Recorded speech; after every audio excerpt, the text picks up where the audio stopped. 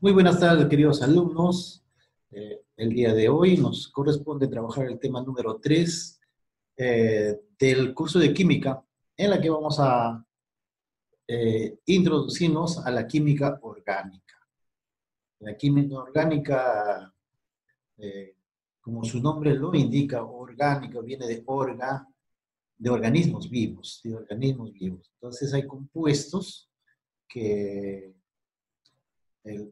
los organismos vivos lo tienen, ¿no? Entonces, este, la, la unión de compuestos orgánicos eh, es la que ha dado origen a la vida de todo ser viviente. Entonces, el día de hoy nos vamos a abocar a hacer un análisis breve de cómo comenzó todo este procedimiento, sobre todo de la química orgánica. Miren acá. Vamos a hacer un repasito de lo que ya hemos estudiado. Hemos dicho que la química es la ciencia que estudia la materia, su composición, su estructura, sus propiedades y por lo tanto también sus transformaciones.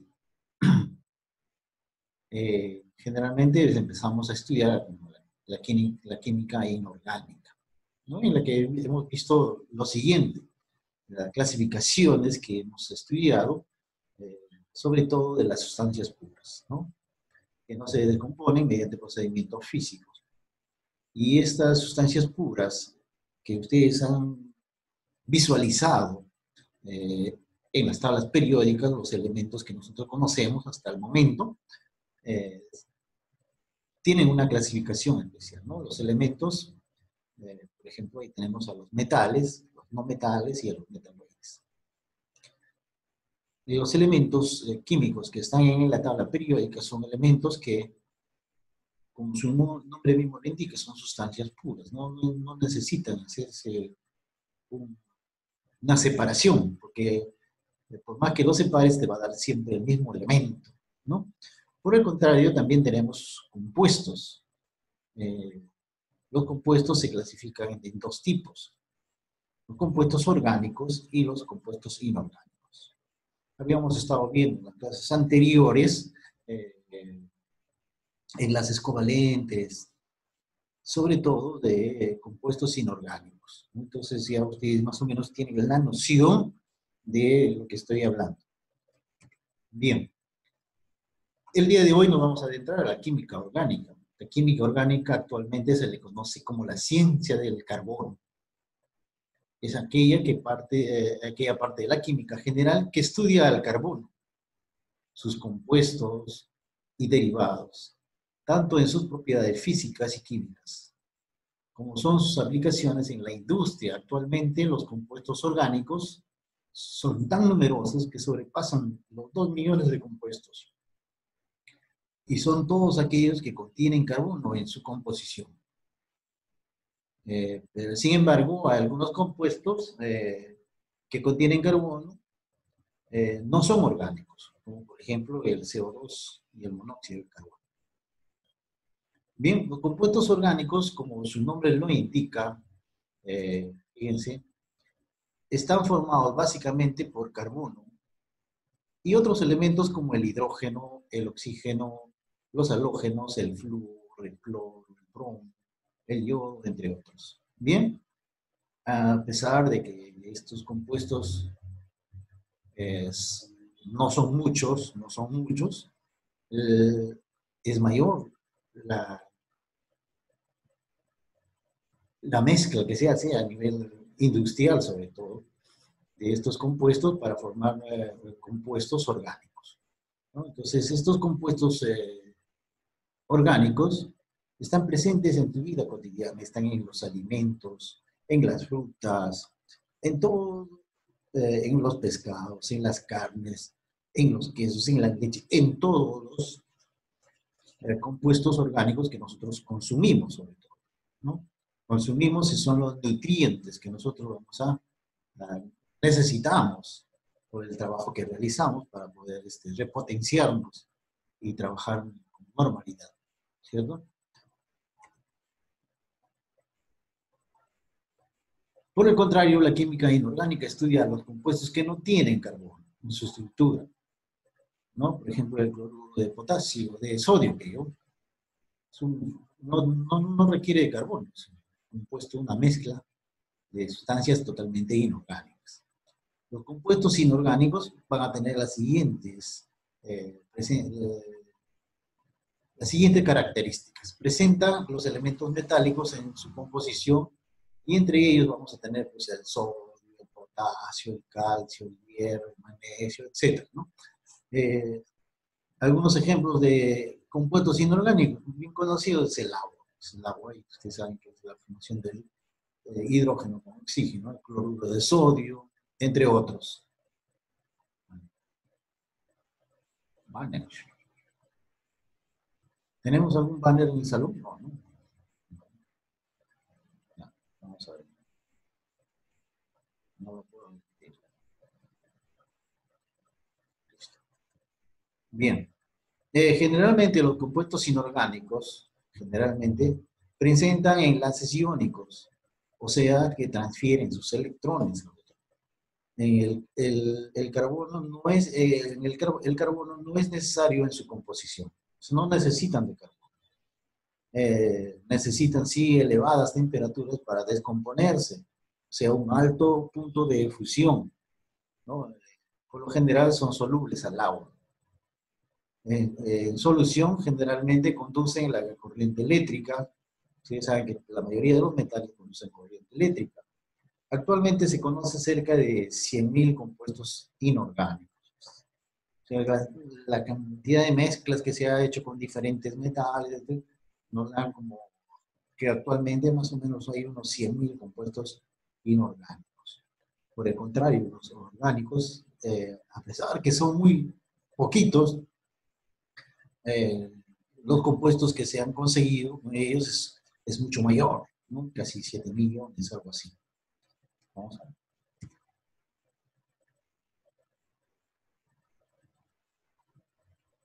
Observen esto. Por ejemplo, la química orgánica o química del carbono, estudia la estructura y composición y propiedades, reacciones de los usos de los compuestos que tienen el carbono.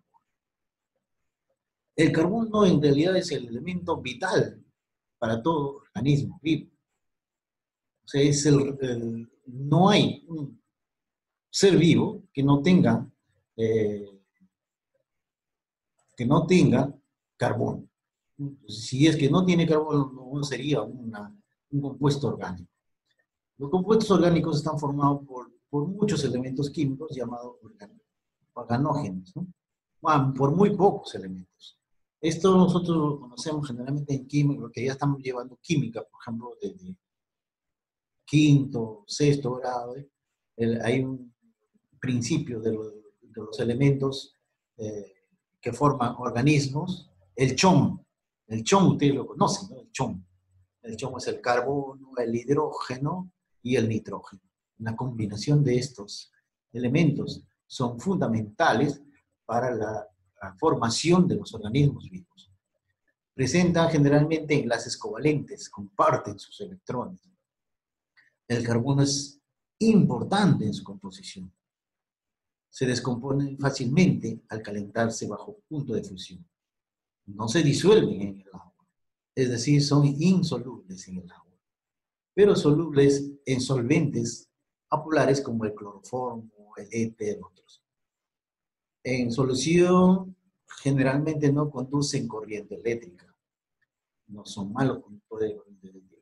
Y actualmente se conocen más o menos 7 millones de compuestos orgánicos Fíjense, con tan pocos elementos químicos, se han logrado hacer compuestos orgánicos mayor volumen que con los compuestos inorgánicos.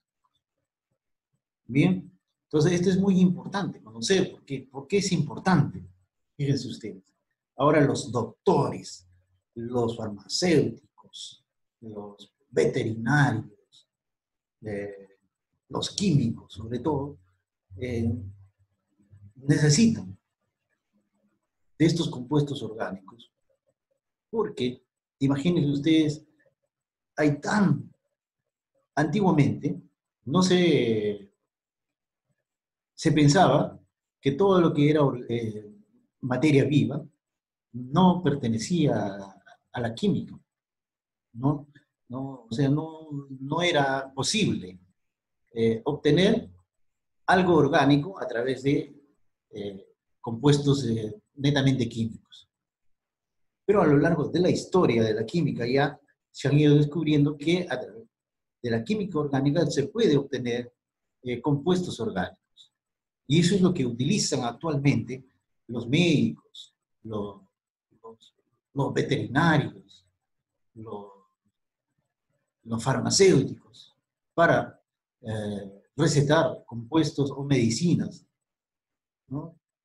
Cuando nosotros necesitamos algo eh, en nuestro organismo, estos suplementos eh, orgánicos a partir de la química inorgánica te dan un balance para que tú puedas mantener la homeostasis de un organismo. ¿A qué se refiere esto? Eh, nuestro cuerpo debe tener una cantidad, por ejemplo, normal de azúcar, de proteínas, de todo. Si alguno de ellos falla, nuestro organismo empieza a enfermarse. ¿Qué hace un médico? Nos, lleva a, un laboratorio y dice que le hagan sus análisis para ver qué cosa le falta, por qué está funcionando mal su organismo. ¿no? Entonces, ¿qué hace? Él, una vez que ya tiene los resultados, analiza. Ah, le falta eh, sodio, le falta yodo, le falta cualquier cosa. Y eso lo complementa a través de los medicamentos. O te dice, tienes que consumir, por ejemplo, si te da mucha gripe o tienes mucha mucho catarro, etcétera, ah, le falta vitamina C. ¿No? Antiguamente no se podía hacer esas cosas, pero actualmente sí. Entonces, este, si te falta algo, el médico te receta de acuerdo a tus análisis lo que va a compensar tu dificultad. ¿no? Eh, hace muy poco tiempo, el año pasado, por ejemplo, yo estaba un poco mal, eh, eh, se me subía la presión, entonces el ritmo cardíaco de mi organismo me estaba dando un indicativo de que algo estaba funcionando mal en mi organismo.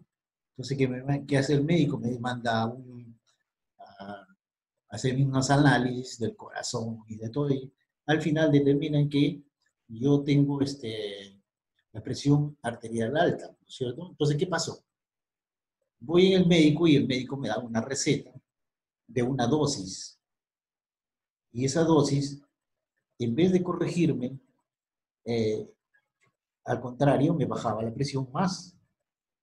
Entonces el médico tenía que eh, ir graduando la dosificación hasta que se normalice totalmente. Entonces solamente ya tú puedes tomar lo que necesita tu organismo. Pero ¿cómo se logra esto? A través de esta química eh, orgánica, a través del trabajo, de los médicos, de los farmacéuticos, incluso ahora los veterinarios usan esto para poder ver qué cosas le faltan a las mascotas, a otra clase de animales, a los que trabajan en granjas, etc. Entonces es muy importante el conocimiento de la química orgánica. Y el elemento fundamental que requiere la química eh, orgánica es el carbono. Y es por eso que ahora esta química se llama la química del carbono.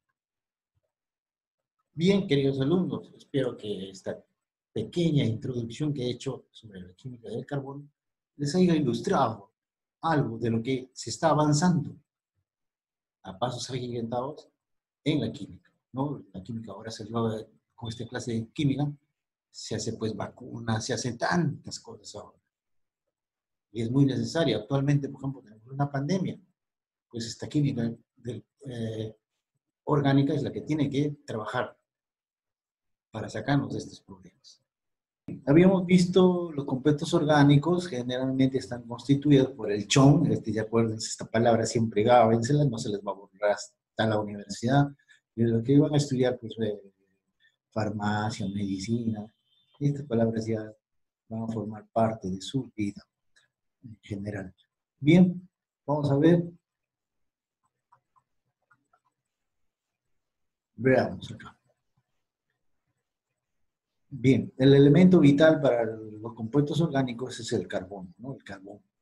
Muy bien. Vamos a empezar con la resolución del trabajo que debemos haber hecho en clase, eh, pero como ustedes saben, estamos en pandemia y por lo tanto ustedes lo tienen que hacer ya, particularmente individualmente en sus hogares. Bien, vamos a ver. Dice que la número uno, ¿qué elemento fundamental debe estar presente en un compuesto orgánico? Bueno, pues ya hemos, ah, reiterado varias veces en la, clase que el carbono es el elemento presente en todo compuesto orgánico, todo. Eh, el ADN, las personas, de los animales, está construido con carbono. Vamos a ver. Bien, la número uno dice, ¿qué elementos organógenos? Ah, los elementos organógenos son, ¿cuáles son? ¿Quién me dice? El chon, es fácil, grabarse, no es fácil eso. Chon. Pongan entonces así con mayúscula el carbono, hidrógeno, oxígeno y nitrógeno. Facilísimo, ¿no es cierto? Muy bien. Todos, todos deben tener eso, el chon. Bien. Número 3. ¿Qué tipo de enlace químico presentan los compuestos inorgánicos? Iónico. Iónico. ¿no? Iónico, ¿por qué? Porque transfieren sus electrones, ¿no? Transfieren sus electrones. Bien, vamos a ver. El número 4. Dice, la glucosa, o sea, CH12 o 6, que fabrican los vegetales y otros, otros organismos, dice, y el metano, CH4, son compuestos, ¿qué tipo de compuestos? Hemos visto dos clases. ¿Cuál de ellos? Orgánicos. Orgánicos. Pues, orgánicos. Orgánicos, ¿no? Orgánicos. Por ejemplo, la glucosa es un monosacárido. Es un monosacárido. Eh, que es fabricado, pues, generalmente la fotosíntesis. ¿no? Y el metano es un gas un gas que nosotros utilizamos generalmente en eh, la preparación de nuestros alimentos, por ejemplo, el metano, el gas metano. ¿Y por qué es orgánico el metano? Fíjense, ¿de dónde provendrá el metano? ¿Quién sabe? ¿Alguien sabe?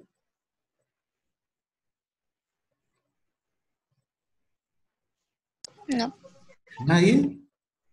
A ver, le voy a dar una pista hace millones de años, millones de años, murieron eh, dinosaurios, plantas, etc. El petróleo. Exacto, el petróleo, ¿no? El petróleo, los hidrocarburos, una, uno de los elementos de los hidrocarburos es el metano, el gas, el gas natural que nosotros llega a nuestra casa a través de unas cañerías actualmente, pues ha sido producido por estos organismos que han tenido vida, se han concentrado de tal manera que ahora pues ya lo utilizamos como, como petróleo, como, como el gas propiamente dicho que llega a nuestras casas. pero es importante que ustedes sepan esto, de dónde provienen esas cosas, ¿no? Vital. ¿no? Una pregunta que le pueden hacer por la calle, oye, ¿qué, qué, es, qué es, el metano? Si no, no tienes una noción básica, uy, no sabes qué responder, ¿no? Pero ya ustedes ya saben, mira, el metano proviene de los hidrocarburos. ¿no? Entonces ahí inmediatamente se acuerdan, ah, ya son los restos de dinosaurios, de las plantas en la época prehistórica que se han depositado en determinados lugares y ahí se han formado los yacimientos de petróleo, etc. Facilísimo. Bien, excelente. Entonces todos estos dos compuestos, la glucosa y el metano, son orgánicos porque provienen de seres vivos, seres vivos. A ver, yo les voy a hacer una pregunta. Todos conocen el alcohol, ¿no es cierto? Alcohol. Todos conocen. Sí. sí y lo usan hasta ahora, por ejemplo, a diario casi usamos el alcohol para el ¿Quién me dice de dónde viene el, alcohol? Creo que de la papa, creo. De, la papa. Cuídese, nunca había visto, escuchado eso, pero puede ser. Puede ser. He visto un video o algo así. Sí. A ver, ¿quién me dice? Otra persona. ¿De dónde vendrá el alcohol? ¿De dónde sacamos alcohol? Eh, creo que el alcohol es de, Ay, ¿cómo se dice? Ya, mejor le voy a hacer la pregunta de otra manera. De lo que vienen las frutas cuando se fermentan, creo. por ahí vas. De la ahí vas. de azúcar. Entonces le voy a preguntar de otra manera. Profesor, ¿El, el alcohol será inorgánico o orgánico? Orgánico. Orgánico. Pues orgánico, porque proviene de la fermentación, especialmente de la caña de azúcar. ¿no? Ustedes han escuchado hablar de la caña de azúcar, le sacan el ron, el alcohol, el- varias graduaciones. Entonces, la caña de azúcar es el primer eh, elemento que se usa para fabricar el alcohol. ¿no? Entonces, como proviene de un elemento que es, tiene vida, porque es una planta, la caña de azúcar, pero el alcohol se saca de otras plantas también, así como su compañero dice, han fermentado tal cosa. Pueden fermentar manzana, pueden fermentar, y sacan alcoholes de diferentes tipos. Pero basta que salga de un elemento que ha tenido vida, que, eh, que es un vegetal, o puede ser un animal, etc., ese es un compuesto orgánico. Ahí está la diferencia. ¿Se dan cuenta ustedes? Una diferencia fundamental entre lo que es orgánico y lo que es inorgánico. Profesor, ¿No? una pregunta. ¿Hay algún compuesto artificial que sea orgánico o no? Sí, hemos dicho que ahora hay como 7 millones de compuestos. Ah, ya. 7 millones. Antiguamente eh, no se pensaba eh, que se podía obtener de compuestos inorgánicos compuestos orgánicos. Pero no me acuerdo si es Jacobo Berzelius o Robert Reiner, creo que uno de ellos, logró sintetizar eh, compuestos inorgánicos en orgánicos, como por ejemplo la urea, etc. Hace muchos años atrás. ¿no? Y a partir de ahí empezaron pues todo a- a fabricar esas, esas diferentes materias, este, compuestos eh, inorgánicos e inorgánicos que, eh, que empezó así la farmacología, empezaron a hacer medicinas. pues. De esa manera se empezó a hacer la, medicina para de- determinadas eh, enfermedades. Actualmente, pues es- es su uso está muy difundido totalmente, ¿no? Nosotros cuando ya las medicinas tradicionales, naturales, en algunas zonas la usan, pero la mayor parte tú vas a la farmacia y ya está ahí. eh, quiero vitamina A, ya está en pastilla. Quiero vitamina C, ya también está concentrada en pastilla. Eh, para todo tipo de enfermedades, para los dolores, para todo, ya esos compuestos inorgánicos se han vuelto orgánicos. Entonces es su uso muy difundido. Bien, la pregunta número 5 ya está, ya está respondida, ya tiene respuesta. ¿Por qué los compuestos inorgánicos presentan alto punto de fusión inorgánico? Bueno, como ustedes ya saben, lo- lo- lo- para ello puede hacer una aleación de dos o tres eh, metales que me va a dar otra sustancia, otro, otro tipo de, de compuesto inorgánico. Eh, necesariamente necesito que esté totalmente líquido para poder hacer esa combinación y para eso necesito altas temperaturas. Entonces, para poder hacer esa aleación, ¿no es cierto? Entonces, es por eso que esta pregunta dice, sí, ¿por qué los compuestos inorgánicos presentan alto punto de fusión? Porque necesitan elevar temperatura para descomponerse. Se descomponen y ya lo puedo mezclar ¿no es cierto? Muy bien, número 6 dice, los compuestos presentan bajo punto de fusión. ¿Qué compuestos? ¿Los orgánicos o inorgánicos? Miren que en la pregunta número 5 dice elevadas temperaturas para los inorgánicos. Entonces, los que necesitan bajo punto de fusión, ¿quiénes son? Orgánicos. Los orgánicos. Orgánicos. Piensen, ustedes cuando leen las preguntas tienen que ir viendo. Más o menos ahí te van dando las pautas de la otra pregunta, no tiene que estar pensando ya en, ah, acá, más o menos acá está la respuesta. Entonces hay que aprender a deducir eso, hay que aprender y sobre todo la lectura es básica, básica, básica. Muy bien. Dice, menciona tres ejemplos de compuestos inorgánicos. A ver, ¿quién me dice? Tres cosas que son inorgánicos.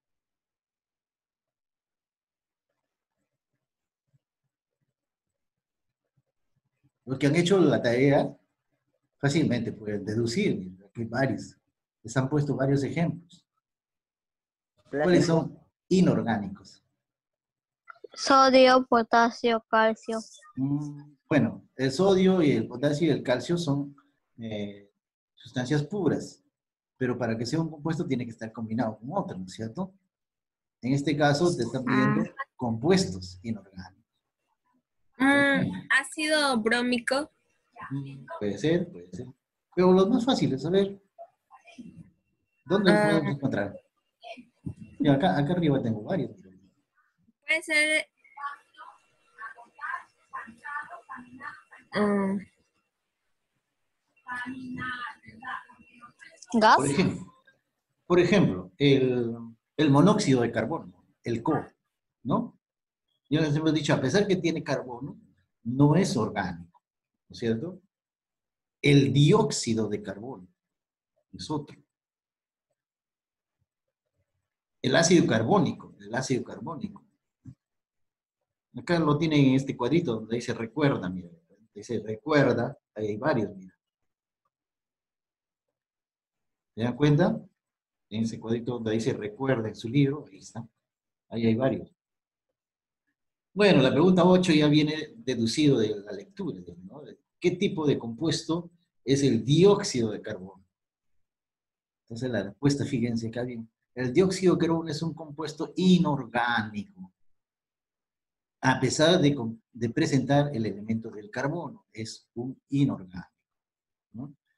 Bien, entonces eso nos da un indicativo que no todos los que tienen carbono son orgánicos. Hay algunos que son inorgánicos. qué es? ¿Orgánico o, inorgánico? Eh, H2O, fíjate. El H2O no tiene carbono.